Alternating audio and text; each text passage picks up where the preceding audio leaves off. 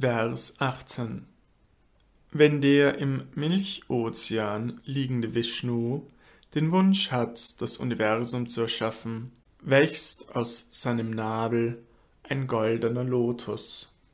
Zusammen mit dem Stiel bildet dieser goldene Lotus das Reich Brahmas und wird Brahmaloka oder auch Satyaloka genannt. Erläuterung. Gold symbolisiert hier den dämmerigen Abglanz reiner Erkenntnis